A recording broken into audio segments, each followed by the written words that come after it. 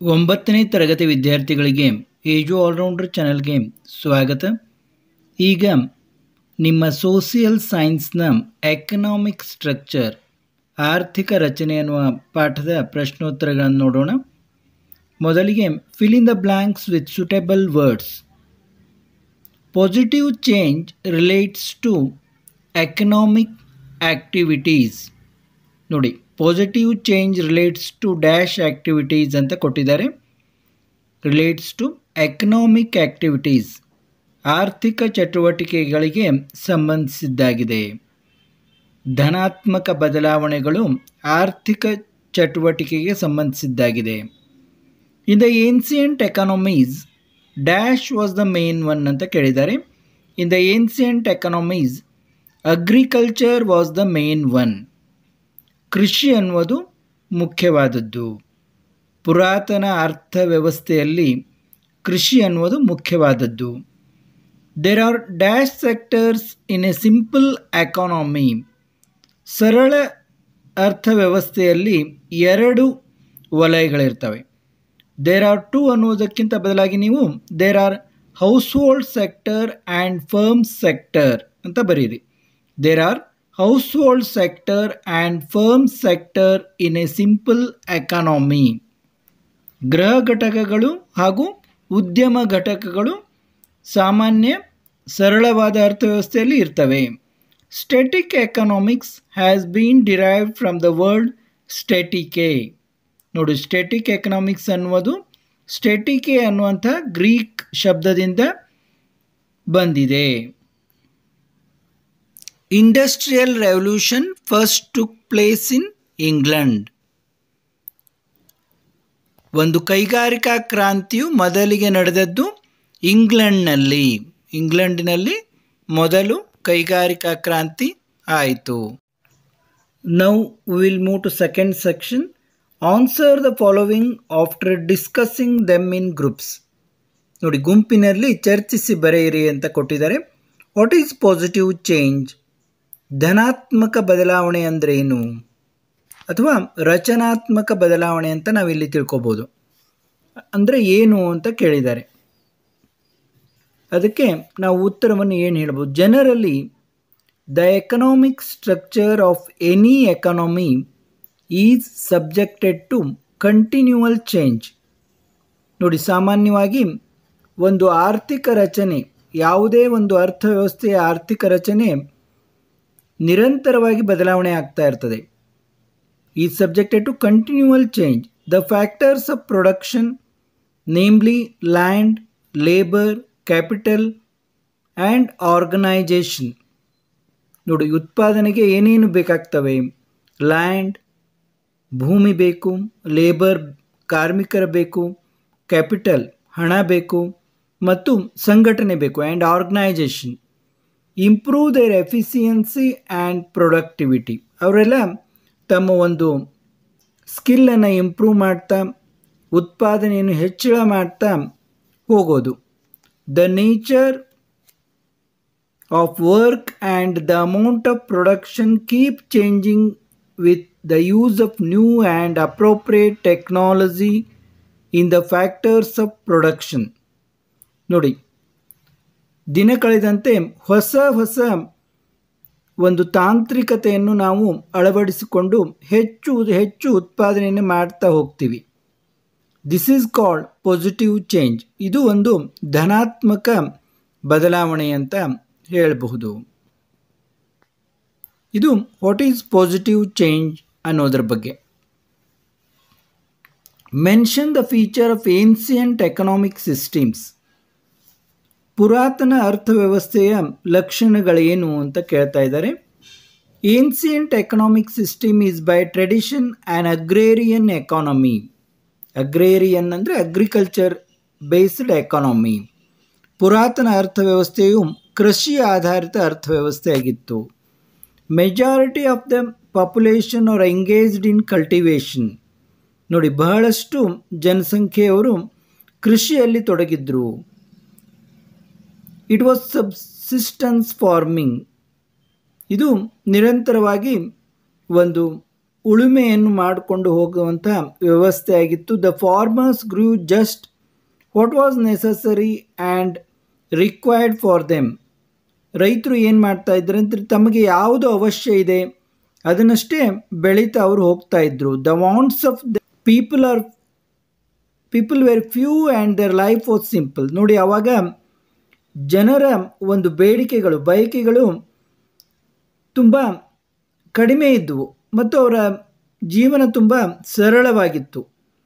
Barter system was in practice ಆ ಕಾಲದಲ್ಲಿ ಕೊಳು ತೆಗೆದುಕೊಳ್ಳುವ ವ್ಯವಸ್ಥೆ, ಅಂದರೆ ಒಂದು ವಸ್ತುವನ್ನು ಕೊಟ್ಟು ಇನ್ನೊಂದು ವಸ್ತುವನ್ನು ತೆಗೆದುಕೊಳ್ಳುವಂಥ ಬಾರ್ಟರ್ ಸಿಸ್ಟಮ್ ಇತ್ತು. ಅಂದರೆ ಈಗಿನ ಹಾಗೆ ಹಣ ಕೊಟ್ಟು ತೆಗೆದುಕೊಳ್ಳುವ ಪದ್ಧತಿ ಅವಾಗಿರಲಿಲ್ಲ. ಒಂದು ವಸ್ತುವನ್ನು ತಮ್ಮಲ್ಲಿರುವಂಥ ವಸ್ತುವನ್ನು ಕೊಟ್ಟು ತಮಗೆ ಬೇಕಾದ ವಸ್ತುವನ್ನು ತೆಗೆದುಕೊಳ್ಳೋದು ಹೀಗೆ ಒಂದು ಥರ ಎಕ್ಸ್ಚೇಂಜ್ ಮಾಡುವಂಥ ಸಿಸ್ಟಮ್ ಇದು. ಅದಕ್ಕೆ ಬಾರ್ಟರ್ ಸಿಸ್ಟಮ್ ಅಂತ ಕರಿತೀವಿ. How did the capitalist class emerge ಈ ಬಂಡವಾಳಶಾಹಿ ವರ್ಗ ಯಾವ ರೀತಿ ಬಂತು ಅಂತ ಕೇಳ್ತಾ ಇದ್ದಾರೆ. ದ ಇಂಡಸ್ಟ್ರಿಯಲ್ ರೆವಲ್ಯೂಷನ್ ಏನು ಅದು ಕೈಗಾರಿಕಾ ಕ್ರಾಂತಿ ಆಯಿತಾ? That started in Britain during the seventeenth and eighteenth centuries ಹದಿನೇಳು ಮತ್ತು ಹದಿನೆಂಟನೇ ಶತಮಾನಗಳ ಅವಧಿಯಲ್ಲಿ ಏನು ಬ್ರಿಟನ್ನಲ್ಲಿ ಕೈಗಾರಿಕಾ ಕ್ರಾಂತಿ ಪ್ರಾರಂಭವಾಯಿತು? Gradually spread to other countries other countries this revolution led to the rise of a new class in society called as capitalist class ಈ ಒಂದು ಕೈಗಾರಿಕಾ ಕ್ರಾಂತಿಯಿಂದ ಸಮಾಜದಲ್ಲಿ ಒಂದು ಹೊಸ ವರ್ಗ ಹುಟ್ಟಿಕೊಂಡಿತು. ಅದು ಕ್ಯಾಪಿಟಲಿಸ್ಟ್ ಕ್ಲಾಸ್ ಬಂಡವಾಳಶಾಹಿ ವರ್ಗ.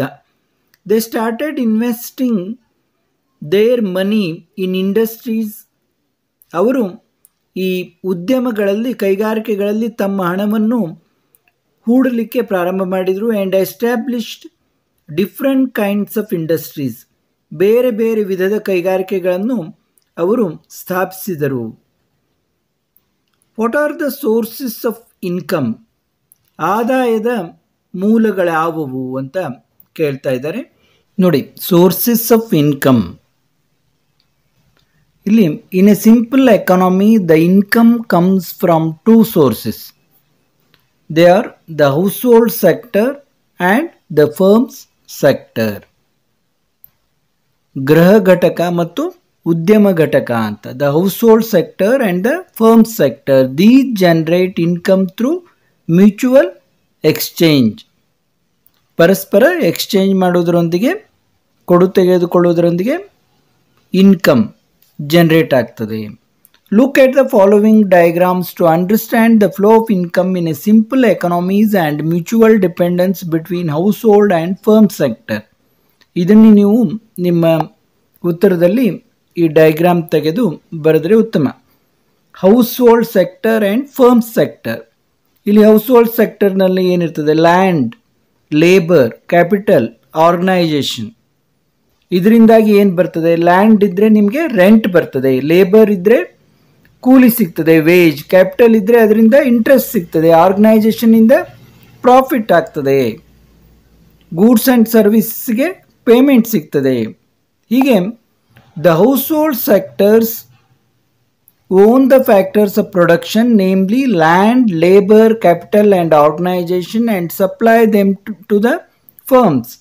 In return, the firms provide rent for using land, wages for utilizing labor, interest for utilizing capital, and profit for organization. Hence, rent, wages, interest, and profit comprise the income of household. In a firm sector in income, the firms utilize the factors of production and produce goods and services which are sold to the household sectors. The money that the household sectors pay for these goods and services comprises the income of the firm sector. ನೋಡಿ ಈ house hold sector ಕೊಡುವಂಥ ಒಂದು ಫ್ಯಾಕ್ಟರ್ಸ್ಗಳನ್ನು ತೆಗೆದುಕೊಂಡು firm sector ಏನು ಉದ್ಯಮ ಘಟಕ ಇದೆಯಲ್ಲ ಅದು ಒಂದು ಅವಶ್ಯಕ ವಸ್ತುಗಳನ್ನು ಉತ್ಪಾದನೆ ಮಾಡ್ತದೆ ಮತ್ತು ಸೇವೆಗಳನ್ನು ಕೊಡ್ತದೆ. ಅದರಿಂದ ಹೀಗೆ ಪರಸ್ಪರ ಆದಾಯ ಜನರೇಟ್ ಆಗ್ತದೆ ಅನ್ನೋದು ನಮಗೆ ಗೊತ್ತಾಗ್ತದೆ. ಇಷ್ಟು ನೀವು ಸೋರ್ಸಸ್ ಆಫ್ ಇನ್ಕಮ್ ಅಂದಲ್ಲಿ ಬರೆದ್ರೆ ಸಾಕು. What are the sources of employment ಉದ್ಯೋಗದ ಮೂಲಗಳು ಯಾವುವು?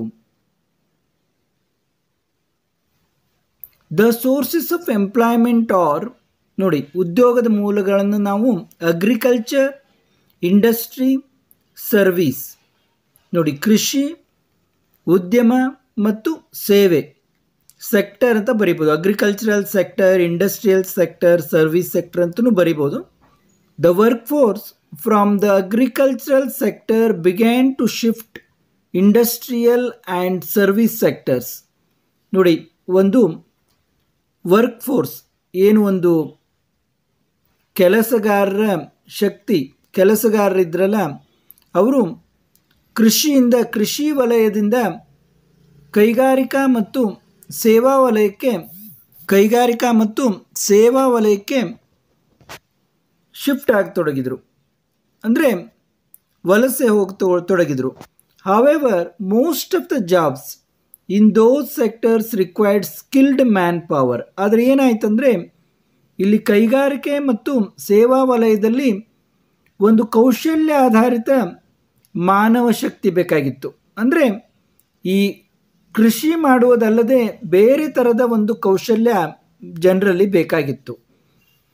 The government was many many programmes to equip the unskilled workers with necessary skills ಹೀಗಾಗಿ ಗೌರ್ಮೆಂಟಿಗೆ ಏನು ಮಾಡ್ತಾ ಇದೆ ಅಂತಂದರೆ, ಈ ಅನ್ಸ್ಕಿಲ್ಡ್ ವರ್ಕರ್ಸ್ ಯಾವುದೇ ಕೌಶಲ್ಯವಿರದಂಥ ಒಂದು ಕೆಲಸಗಾರರನ್ನು ಅವಶ್ಯಕ ಕೌಶಲ್ಯಗಳನ್ನು ಕಲಿತು ಅವರು ಈ ರೀತಿ ಉದ್ಯಮಗಳಲ್ಲಿ, ಬೇರೆ ಬೇರೆ ಸೇವೆಗಳಲ್ಲಿ ತೊಡಗುವಂತೆ ಮಾಡ್ತಾ ಇದೆ.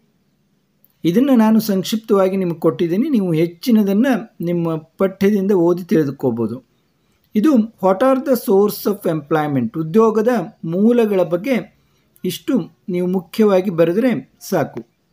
Explain the difference between static and dynamic economics ನೋಡಿ, ಸ್ಥಿರಾತ್ಮಕ ಮತ್ತು ಚಲನಾತ್ಮಕ ಅರ್ಥವ್ಯವಸ್ಥೆಯ ಒಂದು ವ್ಯತ್ಯಾಸಗಳನ್ನು ಹೇಳಿರಿ ಅಂತ ಕೇಳಿದ್ದಾರೆ. ಸ್ಟೆಟಿಕ್ ಎಕನಾಮಿ ಡೈನಮಿಕ್ ಎಕನಾಮಿ ಅಂತ ಎರಡು ಕಾಲಮ್ಗಳನ್ನು ಮಾಡೋಣ. ಫಸ್ಟ್ ನೋಡಿ ಸ್ಟೆಟಿಕ್ ಎಕನಾಮಿಯಲ್ಲಿ ಸ್ಟೆಟಿಕ್ ಮೀನ್ಸ್ ಸ್ಟ್ಯಾಂಡ್ ಸ್ಟಿಲ್ ಅಂದರೆ ಹಾಗೆ ನಿಂತುಕೊಂಡೇ ಇರುವುದು, ಯಾವುದೇ ಬದಲಾವಣೆ ಇಲ್ಲದೆ ಇರೋದು ಅಂತ. Dynamic refers to drastic or continuous changes ಅಂದರೆ ನಿರಂತರ ಬದಲಾವಣೆ ಆಗ್ತಾ ಇರೋದು. It is a timeless economy where there are no change at all ಈ ಸ್ಟೆಟಿಕ್ ಎಕನಾಮಿಕ್ ಸೈಡ್ ನೋಡಿ. ಎರಡನೇದು it is a timeless economy ಇಲ್ಲಿ ಸಮಯಕ್ಕೆ ಏನು ಮಹತ್ವ ಇಲ್ಲ. Where there are no change at all ಇಲ್ಲಿ ಏನೂ ಬದಲಾವಣೆ ಆಗ್ತಾನೇ ಇಲ್ಲ. ಎಕನಾಮಿ ಚೇಂಜಸ್ ವಿತ್ ಟೈಮ್ ಆದರೆ ಡೈನಮಿಕ್ ಎಕನಾಮಿಯಲ್ಲಿ ಅರ್ಥವ್ಯವಸ್ಥೆ ಸಮಯದೊಂದಿಗೆ ಬದಲಾಗ್ತಾ ಇರ್ತದೆ. ಇನ್ನು ಥರ್ಡ್ ಪಾಯಿಂಟ್ ನೋಡಿ the fundamental factors of the economy like the size of population availability of capital ನೋಡಿ, ಜನಸಂಖ್ಯೆಯ ಗಾತ್ರ ಅವೈಲೇಬಿಲಿಟಿ ಆಫ್ ಕ್ಯಾಪಿಟಲ್ ಈ ಒಂದು ಹಣದ ಲಭ್ಯತೆ ಮೆಥಡ್ಸ್ ಆಫ್ ಪ್ರೊಡಕ್ಷನ್ ಉತ್ಪಾದನೆಯ ರೀತಿಗಳು ನೇಚರ್ ಆಫ್ ಆರ್ಗನೈಜೇಷನ್ ಸಂಘಟನೆಯ ವಿಧಗಳು, ಲಕ್ಷಣಗಳು ಆ್ಯಂಡ್ ಪೀಪಲ್ಸ್ ವಾಂಟ್ಸ್ ಜನರ ಬಯಕೆಗಳು ರಿಮೈನ್ ಸ್ಟ್ಯಾಟಿಕ್ ಇಲ್ಲಿ ಎಲ್ಲ ಸ್ಥಿರವಾಗಿ ನಿಂತಿರ್ತವೆ, ಏನೂ ಬದಲಾವಣೆ ಇರೋದಿಲ್ಲ. ಇಲ್ಲಿ ನೋಡಿ, ಇಷ್ಟು ಲೈನ್ಗಳನ್ನು ಸೇಮ್ ಆಗಿ ಬರೀಬೇಕು. ಕೀಪ್ ಆನ್ ಅಂತ ಇಲ್ಲಿ ಬರೆದು ನಾನು ಸ್ಕ್ರ್ಯಾಚ್ ಮಾಡಿದ್ದೀನಿ. ಅದು ಇಲ್ಲಿಗೆ, ಇಲ್ಲಿವರೆಗೆ ಸೇಮ್ ಇದೆ ಈ ಕಡೆನೂ. The fundamental factors of the economy ನೋಡಿ, ಈ side the fundamental factors of the economy like the size of population availability of the capital methods of production nature of organisation and people's wants keep on changing ಇಲ್ಲಿ remain static ಅಂತಿದೆ. ಈ side keep on changing continuously ಅಂದರೆ ಇವು ಬದಲಾವಣೆ ಹೊಂತಾ ಇರ್ತವೆ. ಇದು dynamic economy ಈಗ ನೋಡಿ, ಇಲ್ಲಿ ಏನಾಗ್ತದೆ? ಸ್ಟೆಟಿಕ್ ಎಕನಾಮಿಯಲ್ಲಿ ನೋ ಎಕನಾಮಿಕ್ ಡೆವಲಪ್ಮೆಂಟ್ ಏನು ಅರ್ಥವ್ಯವಸ್ಥೆಯಲ್ಲಿ ಏನೂ ಅಭಿವೃದ್ಧಿ ಇಲ್ಲ. ಇಲ್ಲಿ ಎಕನಾಮಿಕ್ ಡೆವಲಪ್ಮೆಂಟ್ ಅರ್ಥವ್ಯವಸ್ಥೆಯಲ್ಲಿ ಅಭಿವೃದ್ಧಿ ಇದೆ. Fourth point in fifth point pre independence Indian economy was static ನೋಡಿ ಸ್ವಾತಂತ್ರ್ಯ ಪೂರ್ವದಲ್ಲಿ ಭಾರತದ ಅರ್ಥವ್ಯವಸ್ಥೆ ಒಂದು ಸ್ಟೆಟಿಕ್ ಎಕನಾಮಿ ಆಗಿತ್ತು. ಅಂದರೆ ಸ್ಥಿರಾತ್ಮಕ ಅರ್ಥವ್ಯವಸ್ಥೆ ಇತ್ತು. ಏನೂ ಬದಲಾವಣೆ ಅಭಿವೃದ್ಧಿ ಇರಲಿಲ್ಲ. Post independence Indian economy is dynamic ನೋಡಿ, ಸ್ವಾತಂತ್ರ್ಯ ನಂತರದ ಭಾರತದ ಒಂದು ಅರ್ಥವ್ಯವಸ್ಥೆ ಚಲನಾತ್ಮಕ ಅರ್ಥವ್ಯವಸ್ಥೆಯಾಗಿದೆ. ಅಭಿವೃದ್ಧಿ ಹೊಂದಿದ, ಹೊಂದುತ್ತಿರುವಂಥ ಅರ್ಥವ್ಯವಸ್ಥೆ ಆಗಿದೆ. ಎಕನಾಮಿಕ್ ಸ್ಟ್ರಕ್ಚರ್ ಅನ್ನುವಂಥ ಪಾಠದ ಪ್ರಶ್ನೋತ್ತರಗಳನ್ನು ನೋಡಿದೆವು. ಮತ್ತು ಮುಂದಿನ ಪಾಠ ಪದ್ಯದೊಂದಿಗೆ ಭೇಟಿಯಾಗೋಣ. ನಾವು ಮಾಡುವ Kannada English Hindi social science ಹೀಗೆ ಎಲ್ಲ ವಿಷಯಗಳ ವಿಡಿಯೋಗಳನ್ನು ನೋಡ್ತಾ ಇರಿ. ಸಬ್ಸ್ಕ್ರೈಬ್ ಆಗದವರು ಸಬ್ಸ್ಕ್ರೈಬ್ ಆಗಿ ಮತ್ತು ನಿಮ್ಮ ಗೆಳೆಯರಿಗೂ ಕೂಡ ತಿಳಿಸಿ. ಎಲ್ಲರಿಗೂ ವಂದನೆಗಳು.